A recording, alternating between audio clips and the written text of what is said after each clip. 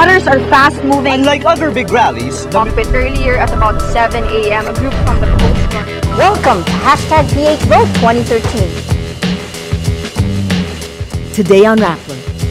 An alleged rice smuggler is arrested for power pilferage but released after posting bail. I, I think we all know it takes time, but I think it's good to show something quickly. Uh, because there's a lot of hope. The groundwork begins for the Philippine government and the Moro Islamic Liberation Front after signing a peace deal. And protesters block voting at thousands of polling stations in Thailand.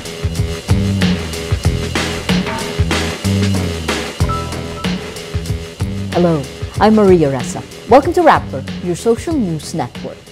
The National Bureau of Investigation, or NBI, arrests alleged rice smuggler Davidson Bangayan, also known as David Tan Monday, right after a Senate hearing on his illegal operations.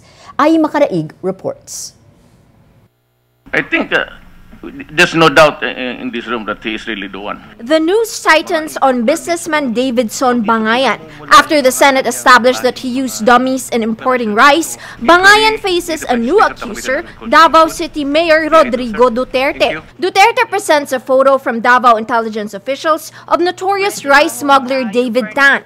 The mayor says Tan's name came up in his investigation as the go-to guy for rice smuggling in Davao, Manila, Cebu, and Cagayan de Oro. Before lawmakers and law enforcers on live television, the notorious mayor threatens the man supposedly in the photo. Ayaw ko simula ngayon sa lahat na may bababa dito na smuggled goods. Sabi ko, pagbabarilin ko kayo. And if this guy would go to Davao and start to unload, I will gladly ki- kill him. And so we go to prison. Eh, I mean, I'm old, Your Honor. I could spend the remaining days of my life in prison. I can do do away with the distress by reading books and while away my time. Duterte says Bangayan has many modes of smuggling rice, including using poor farmers' cooperatives as fronts. Like Duterte, Senate Minority Leader Juan Ponce Enrile is convinced Bangayan and Tan are the same person. He moves to cite Bangayan in contempt for lying, citing his affidavit in a libel case, saying he is AKA David Tan. Yes, I'm denying because I've signed Davidson Bangayan on that complaint and not AKA David Tan. Maybe my lawyer did not at the time, did not correct it. But because I saw my name and my company, that's why we we said that wala po siyang ibang nire-refer kundi kami. Hindi lang itong ebidensya kontra sa iyo na ikaw si David ba, David Tan. Maawa ka sa sarili mo. Alam mo, ayaw kitang saktan, ano? Ayaw kong manakit ng tao. Sa mga komite ng Senado, may reglamento dito, hindi ka pwedeng magsisinungaling. Eh pag nagsinungaling ka, papipilintan kami na parusahan ka ng contempt. The Senate cites Bangayan in contempt, recommending the filing of a perjury case against him and the cancellation of his passport. But Justice Secretary Leila De Lima has a surprise announcement of her own. that the NBI is ready to implement the warrant of arrest against him as issued by the RTC. Investigators arrest Bangayan for a separate electricity pilferage case. Just hours later, he walks free after posting bail. De Lima admits the Bureau has yet to file an airtight case against Bangayan for rice smuggling, but insists it has evidence and witnesses. The Justice Chief draws flack from her fierce critic. The trouble with us in government is that we talk too much, act too slow, and do too little. Let me ask, don't we? I heard it was said that what this country needs, given the prevailing conditions, is not more laws, but more good men in public service. Let me ask again, do we subscribe to that? De Lima shrugs off the criticism, vowing to pursue Bangayan and other big-time rice smugglers. Senators say their findings and the testimony of Mayor Duterte raised the pressure on the Justice Department to sue Bangayan for rice smuggling. But the committee says the bigger challenge is to find the agriculture and customs officials who connived with these big-time smugglers and profited from this long-running problem. Ayee Macaraig, Rappler. Tropical storm Basyang, international code name Kajiki, leaves six people dead and five others missing.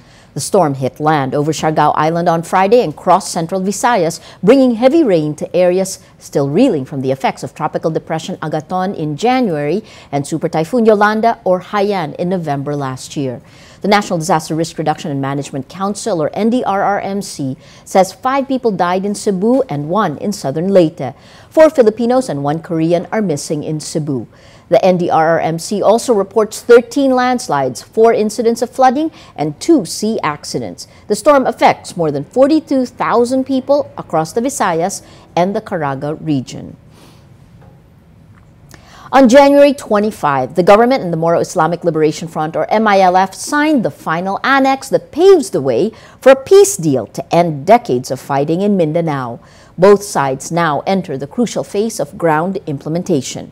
Government Peace Panel Chair Miriam Coronel Ferrer says the next challenges include creating terms of reference for the different bodies involved in the implementation of the agreement and fast-tracking the creation of the Bangsamoro Basic Law. Ferrer says setting the foundation for lasting peace in Mindanao will take some time, but Peace Panel member Senen Bacani says it's important to address immediate needs as a short-term goal. Yeah, although it, I, I think we all know it takes time, but I think it's good to show something quickly uh, because there's a lot of hope, there's a lot of optimism. Yes. That's why I follow through in terms of at least some feeling that there is a change for the better. Uh, I guess we have to look at possibly low-hanging fruits there, Yes. those which we can do quickly. Like what? I suspect even basic necessities like what potable water and electricity.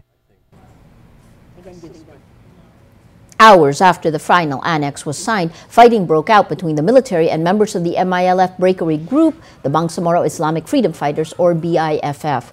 The military earlier promised it would go after what it called spoilers in the peace process. Ferrer says dealing with other groups is part of the challenges they have to address. This is a part of the process, trying to sort out where they would fit in, what kind of roles they will play along the way. Uh, that's why I said we avoid using the word spoilers because we did have so-called spoilers in 2008 with the MOA AD, and most of them are on board now. They are supporting us. The negotiators say they're optimistic about the benefits the law can provide the people of Mindanao. Panel member Yasmin Lao says one of the key achievements is a recognition of the Bangsamoro identity. The acknowledgement of Bangsamoro as an identity is already a very big, big, you know, uh, They from crying a- in Malacanang, right, the year- From a derogatory Moro to a Bangsamoro people of, of, you know, with their dignity and history and all that intact. It's not. It's already a, a big, big achievement by itself. Opposition protesters blocked voters in thousands of polling stations in Thailand during its highly anticipated polls. Protesters want to force Prime Minister Yingluck Shinawatra to step down, saying she's a puppet for elder brother Thaksin, who was ousted in a 2006 coup. Millions of Thais failed to cast their votes Sunday, with protest groups forcing about 10% of polling stations to close. The disruption means there may not be enough parliament members to convene legislation. Even if Yingluck wins, she will remain in a caretaker role with limited power over government policy until elections are held in the problem areas. The protests have left at least 10 people dead over months of unrest. Let's now look at Rappler's Wrap for today, a list of the 10 most important events around the world you shouldn't miss. At number 7, some mothers are looking to medical marijuana as the last hope to help their children suffering from seizures. Thousands of parents in the Philippines' Moms for Marijuana Facebook page ask lawmakers to review marijuana's medicinal value. They also want government to begin formal research so cannabis oil can be used with food for their children. 54-year-old Cynthia Algas Vargas says she hopes mothers would not have to go to Colorado in the U.S. for treatment where cannabis is legal. At number 8, Oscar winning actor Philip Seymour Hoffman was found dead of a suspected drug overdose in his New York apartment Sunday. He was 46. He was found on the bathroom floor wearing shorts and a t shirt with a syringe in his arm. Police find a substance thought to be heroin at the scene. Hoffman, whom some call the finest character actor of his generation, won an, an Oscar in 2006 as Best Actor for Capote and was nominated for three more Academy Awards. And at number nine, Dylan Farrow, the daughter of actress Mia Farrow, speaks for the first time about allegations her adoptive father, film director Woody Allen, sexually abused her at the age of seven. Allen strongly rejects the accusation that first came out in 1992. Investigated over claims of abuse, Allen was not charged after psychologists found Dylan had not been molested. Allen also accuses Dylan's mother, Mia, of lying and fabricating the accusations after their bitter separation. For the full top 10, visit Rappler.com's The Wrap. Defense wins championships. The Seattle Seahawks hold down the Denver Broncos to just eight points while scoring 43 to win Super Bowl 48.